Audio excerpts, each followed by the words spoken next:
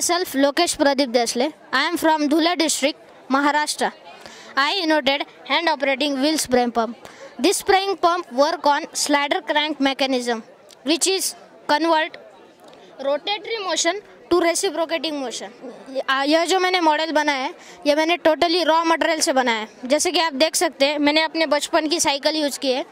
उस पर मैंने नेपसेक स्प्रेयर लगाकर उसे स्लाइडर क्रैंक मैकेनिज्म के तहत फिट कर दिया है। जब कोई आदमी इसे लेकर जाएगा या चलेगा तो यह पिस्टन ऊपर नीचे होकर इसमें प्रेशर रिलीज़ होगा।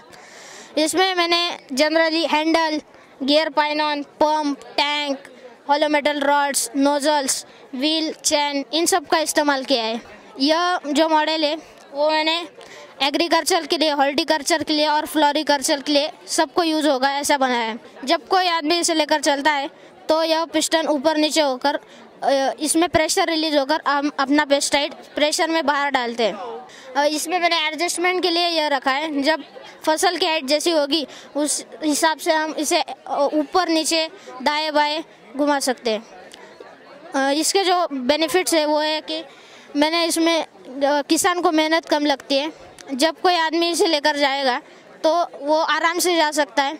जब यह एक पहिया पूरा घूमेगा तो यह पिस्टन दो बार ऊपर नीचे होता है, जिसकी वजह से प्रेशर फास्ट रिलीज़ होता है।